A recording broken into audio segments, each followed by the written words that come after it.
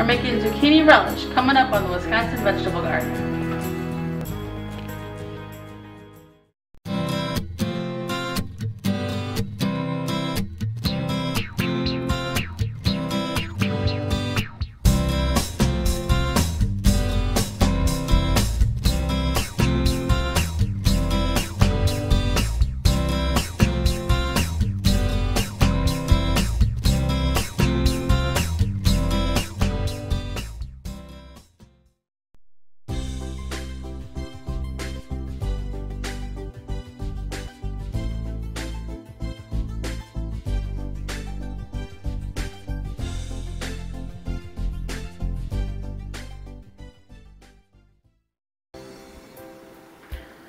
Welcome to Wisconsin Vegetable Gardener. I'm Holly Baird. This show is dedicated to the average gardener, simple home living, and using what you already have. Well, today we're making zucchini relish. It's a simple, delicious condiment that you can use, and you don't have to have canning equipment to make it. You can put it in your fridge or your freezer. So we've completed the first step, which you chop all the zucchini, peppers, and onions. You cover it with enough water, and then you put the salt in it, mix it all together, and you let it stand for about three hours. Our next step is to drain it. So we're gonna go ahead and do that now. So after we let this stand for three hours, we're gonna take it and strain it.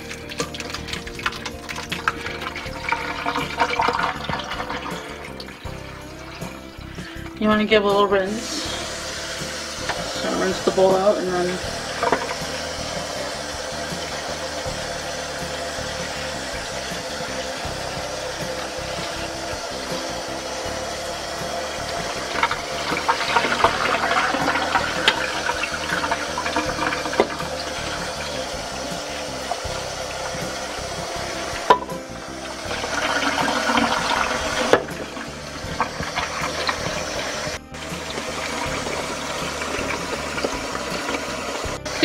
you know, fairly well because there is a, quite a bit of salt in there. That, that's what's gonna hurt you, but obviously less salt we have in our diets, the better. And it's pretty well rinsed now. I'm gonna put it back in the bowl, and then we're gonna start the brine for the process of making the relish. Now we're ready to make the brine for the zucchini relish. And all you need to do is you add vinegar and water. We're using apple cider vinegar. You can use white or apple cider vinegar. Apple cider vinegar makes it a little bit sweeter. So, so we have the apple cider vinegar and the water to the pot here. And then you want to add the sugar. And you want to stir that till it dissolves. Along with that, you want to add about a tablespoon or so of mustard seeds. You can use half mustard, half celery seeds. Um, you know, you can use all mustard seeds. Whatever you have is fine. I wouldn't really use all celery seeds. Make sure you have some mustard seeds in there. So you stir this around and you want to bring it to a boil. So as you can see it's boiling and the sugar has dissolved nicely. All you want to do is turn this down to a simmer. So I'm going to turn on low. And you just want it to simmer for about three minutes. So now we're going to add the zucchini, onion, and pepper combination. Now you can use any kind of sweet peppers, red, yellow, green, orange. Um, it doesn't matter. So I've got that added here. And what you want to do is bring it back up to a boil. So now we've added to the pot, we're going to bring it back up to a boil. You're going to let it boil just for about a minute. Then you're going to reduce it to a simmer, let it simmer about 10 to 20 minutes. More towards the 20 minutes if you're not going to can it. If you are going to can it, then more towards the 10 minutes. Once you've done that, if you want to can it, you're going to put it into half pint canning jars. Been one quarter inch headspace and you're going to can it in a boiling water bath canner for 10 minutes um, if you're not going to can it, then we recommend you bring it down to room temperature and you can put it either in freezer bags or refrigerator bags. It keeps for several months in the refrigerator and for up to a year in the freezer. You can put it in a jar or any type of airtight container and leave it in your fridge up to several months. But it's so delicious, it's not going to last that long anyway.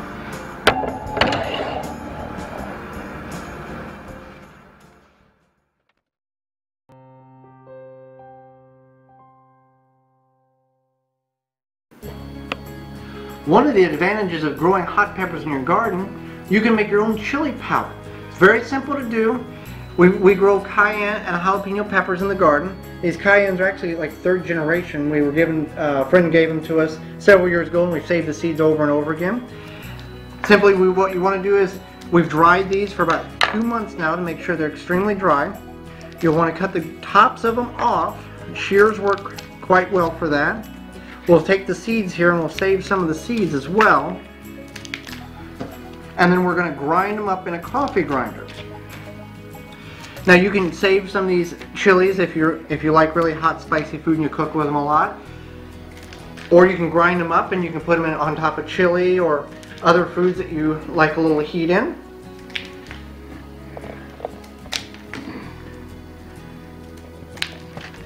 So now that we've got them all cut, they're a nice little pile. Now coffee grinder works best for this. If you don't have a coffee grinder, a blender, or a food processor works well. If you have another tool similar to a coffee grinder, it also works well.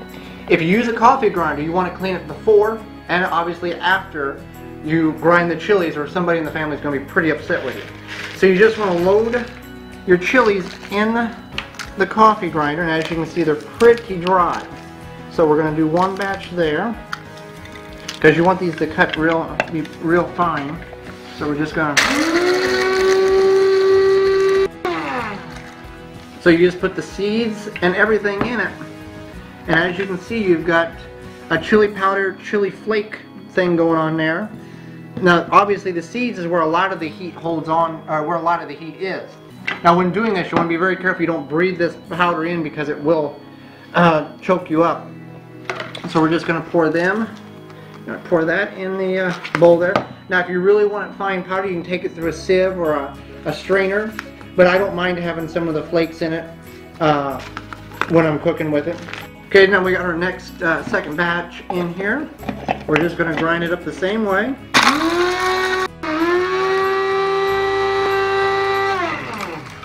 Okay, that's our second batch there. And I, you know, there's going to be some particles that are just not going to break up. And we'll get that all out of there. and as you can see, it's very, got a little powder can choke you up. Now here's uh, some that we made last year. Uh, you can reuse an old spice jar. And whether you use a lot of chili powder or a little chili powder, it can save you money in the long run. And now you know what to do with those hot peppers in the garden come this summer.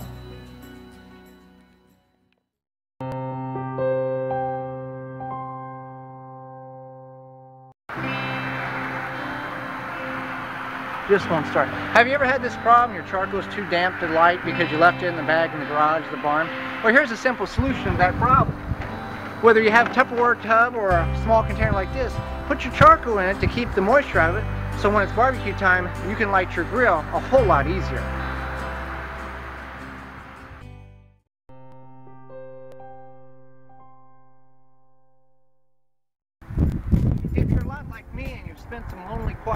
Front of the computer and you got a little crazy and requested too many seed catalogs, and now your family thinks you're crazy. Well, you're not crazy. You're just trying to get the best possible produce to grow in your garden for your family. But really, what do you do when you have 11, 12, 20 seed catalogs coming out of your mailbox? Well, come inside and I'll give you some important information that'll help you pick the best seed company to buy from. So now you got all your seed catalogs, how you determine which one you're going to order from. Well, there's a few factors you need to consider when, when looking at your seed catalogs. Before I open any seed catalog, I look at where the company is located at. You can find that information on the back of the seed catalog with the return address next to your name. Why is this information important? Well, because if I'm in Wisconsin and the seed company is from Florida, that Florida company is not going to focus on the seeds that I'm going to be able to successfully grow in my garden in Wisconsin. So that seed catalog would be out of the picture. Now, if the seed catalog is from Missouri or Illinois or Indiana, then they're going to focus more on the seeds that I'll be able to grow in my region. Next is, all good seed catalogs will have a bio about the company. Simply open it up and you'll see it inside the cover and it tells the history of the company, what the company stands for, believes in, the way the seeds are uh, grown and harvested, and how they're looking to help the customer in the upcoming year. Now after I've read that and if I'm happy with what the company is wanting to provide me or believes in or, or how the seeds are grown, then I look at what type of seeds am I wanting to grow. Hybrid, heirloom, or organic. Some companies, some seed catalogs will only focus on one of those. Others will focus on all three and it's a variety throughout the catalog. Once I've got that figured out, now it's and the important aspect of money. I go to the center of the catalog and I look at the shipping cost before I even decide what type of seeds or how many uh, I'm wanting to purchase. Some catalogs have a great deal where it's a flat rate. No matter how much money you, you spend, it's only going to cost you a certain amount to ship. Some catalogs have a deal where if you spend so much, the shipping is free. And others will strictly charge you for the amount that you purchase. After I figure out one of the catalog, after I figure out the catalog of my choice, based on the shipping cost, based on the bio, the type of seeds, and where they're located, now I'll start thumbing through it and highlighting and deciding what seeds I want to purchase to plant in my garden this year. So if you follow those tips, your garden will probably be a much more successful place than it has been in years past.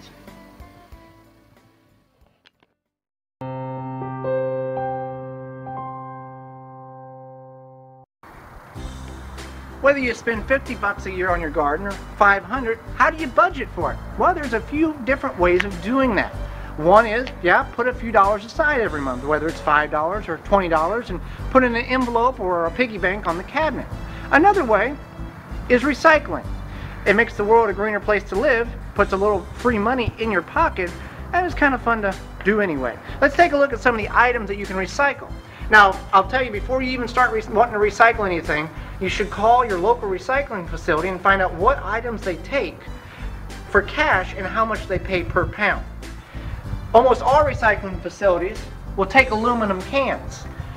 By the pound, it doesn't take much to acquire them. We all drink soda or energy drinks, or you know somebody that does. That's one item you can cash in on when it comes to recycling. Some other items you may not be familiar about is motors whether it comes out of your vacuum, a microwave, or a sump pump, or an industrial motor, they'll pay so much per pound for those. A simple thing for everybody is an extension cord or cords that come off your appliance. Most places will pay a certain amount per pound for that, even with the installation on, which is an awesome thing. And you can just take in regular scrap metal, whether it's an old metal shelf, an old barbecue grill, even Something a lot of people throw out all the time, aluminum chairs. They'll pay you so much per pound for these. You just want to take all the scrap, uh, the canvas off of it, and be as pure as possible. And the cleaner it is, the happier they make them, and probably the little bit more money they may pay you. Now, if you've got kids that like to take things apart, I've got a tip for you. If you're going to work or to the store and you on jump see somebody throw out an old vacuum, well, there is a small motor in there that's worth a few cents a pound. There is the extension cord that's worth so much a pound, but they can take it apart. One, you give them something to do for about 20 minutes. Two, you teach them about recycling. And three, you teach them the value of a dollar, how much that motor is worth per pound. Another item that I see a lot of people throw out that they are not aware of is recyclable is brake rotors. Now, a few cents a pound, but you gather enough of these up, you get a lot of weight pretty quick. So that's just some of the ideals that you can think about when trying to figure out how to acquire a little extra funding for your garden budget. Well, that's all the time we have. I hope you enjoyed the show as much as we enjoyed bringing it to you. And making that homemade zucchini relish. That's something I encourage you to try. It'll save you money from buying at the store, and it'll give you another reason to plant a few more zucchini plants in the garden come this spring. And storing your charcoal in an airtight container, that'll make barbecue time a whole lot more enjoyable for everybody in the family.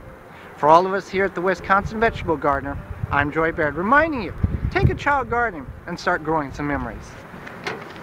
Another seed catalog. Holly's gonna kill me. The show doesn't have to end here. You can continue the discussion on our Facebook page, keyword Wisconsin Vegetable Gardeners, and like the page. You can also email your questions, comments, or suggestions at the wiveggardener at gmail.com, and we may use your question on an upcoming show.